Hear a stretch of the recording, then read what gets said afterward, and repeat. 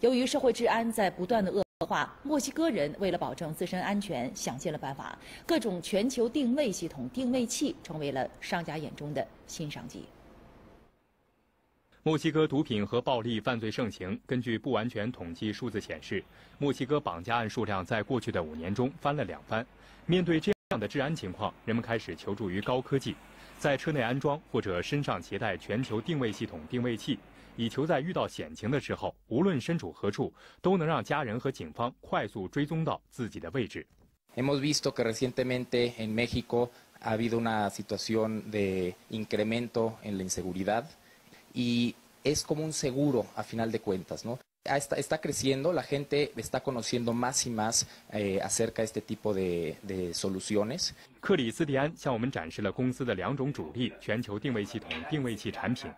这样一个小盒子的市场售价约为三千比索，约合一千五百元人民币，而后续每个月的服务费约为三百五十到五百比索不等，约合一百八十到两百五十元人民币。克里斯蒂安告诉我们，像这样的定位装置，主要客户是货运公司和私营业主。好的时候，每月销售量能够达到两百台以上。所有的用户都可以登录他们公司的监控平台，对装有定位器的车辆和人员进行监控，精确度能达到五米以内。一旦出现问题，可以马上定位追踪。另外一些公司甚至还推出了专用的手机应用程序，配合全球定位系统定位器，可以在紧急情况下快速发出求救信息和受害者所在的位置坐标。同时，这种定位器还衍生出了许多新用途，比如专门针对小孩、老人还有宠物进行设计的定位器。